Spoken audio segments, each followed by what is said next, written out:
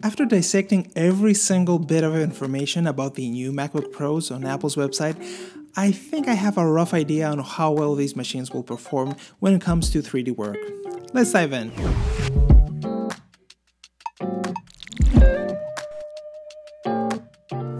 This time, Apple provided us not only with a lot of charts, but also with the actual PCs used for all the speed test comparisons.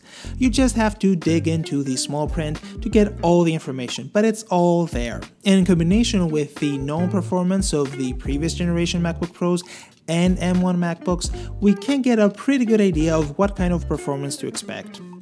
Of course, we have to wait for the real benchmarks, but if my estimates are even remotely close to the real numbers, then these new MacBook Pros will be perfect for 3D work. They seem to pack some serious punch.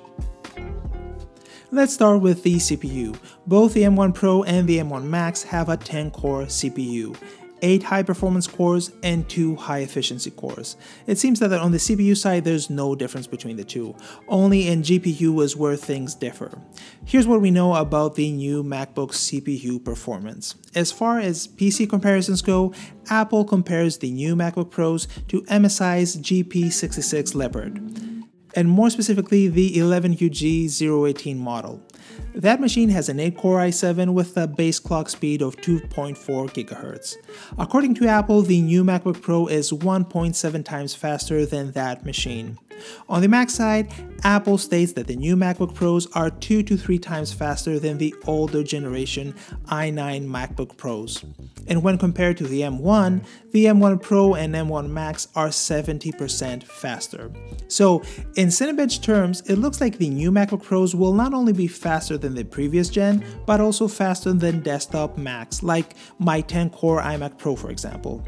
Granted, the iMac Pro is a 4-year-old machine, but it's still quite impressive to see a laptop outperform a desktop CPU. It looks like the higher end MacBook Pros will be around 35% faster than my 10-core iMac Pro.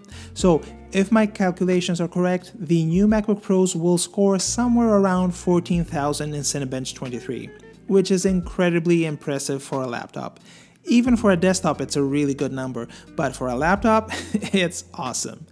Would you rely on just this one machine to CPU render? Probably not, but knowing how performant Cinema is on my machine for pretty much every Cinema 4D task, I have no doubt I could use the higher end MacBook Pro as my main computer. The leaked Geekbench numbers for the higher-end MacBook Pro seems to back up my estimates. The MacBook Pro in these tests is also around 35% faster than the 10-core iMac Pro. It scores an 11,542 on the multi-core CPU test, while my iMac Pro scores an 8,715. It also outperforms the 2020 10-core i9 iMac, which has a slightly higher score than my machine. What is interesting to note here is that the single core performance for M1 Pro and M1 Max didn't change at all compared to the M1. It makes sense since they're probably running at the same speed and they're also the same generation SoCs. Where things differ though is in the multi-core performance. There, the M1 Pro and M1 Max are 55% faster than the regular M1. So just to summarize, on the CPU side, the new MacBook Pro will outperform every 8-core and 10-core Mac desktop, including the Mac Pro. That is really impressive. Of course, when we get to a higher spec 12, 16, 24, or 28 core Mac Pros, of course the M1 Max won't be able to compete, but that would be insane to expect. The MacBook Pro essentially delivers desktop results on a much smaller portable package, and with the ability to spec it out to 64GB of memory, there won't be any limitations there as well. This amount of memory can fulfill pretty much every creative task. I have 64GB on my iMac Pro, and even though sometimes I can get close to the limits, I don't think I've exceeded that number. And the most impressive thing of all, the MacBook Pro delivers all this performance while consuming a heck of a lot less power than my iMac Pro or the 8-core Mac Pro. Now, on the GPU side, the numbers are equally impressive, especially if we take into account the fact that Apple compares the new MacBook Pros to the latest and greatest GPU.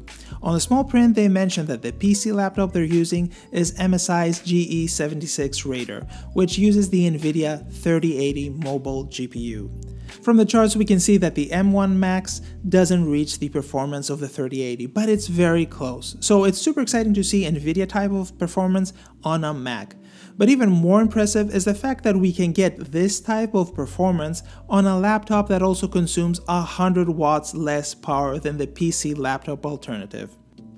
So what does that mean for GPU rendering on a Mac? Simple, extremely fast renders. Redshift or Octane on the MacBook Pro will be a dream to use. Just as a comparison, my iMac Pro uses the Vega 64 GPU and I'm very happy with the performance I get in Redshift. So getting rendering performance that is two times faster than that and on a laptop, that is wild. I've done multiple 4K animation renders on my iMac Pro, so the fact that I can get these renders two times faster is just awesome. Considering the fact that this uses three times less power than the PC laptop, the new MacBook Pro might be the ideal mobile rendering machine. It won't run as hot as the PC laptop, it will have a longer lasting battery, and most importantly, it will do all that while being less noisy. Of course, it remains to be seen how the fans on the new MacBook Pro sound, but I get the feeling it won't sound like a fighter jet about to take off. Personally, I'm fine with trading rendering performance for silent or almost silent operation, but that's just me. Your needs might differ. The other thing I really like with Apple's SoC is the unified memory architecture. Running out of GPU memory is not going to be a thing of the past. If your scene requires more than 16GB of GPU memory, the system will just allocate more. Simple as that. Currently, when I'm building a scene, I'm always careful not to go over the 16GB limit of my iMac's GPU, so this type of freedom will definitely change the way I work. In some cases, it might make for scenes that are not as optimized, since it encourages more sloppy work, but it's still good to have. Especially when you're on time crunch and you don't have the time to optimize every single thing in your scene. Will I buy the new MacBook Pro? no, but it's not because I don't want to or because I don't think it's powerful enough. It's because I'm waiting for the new iMacs and iMac Pros.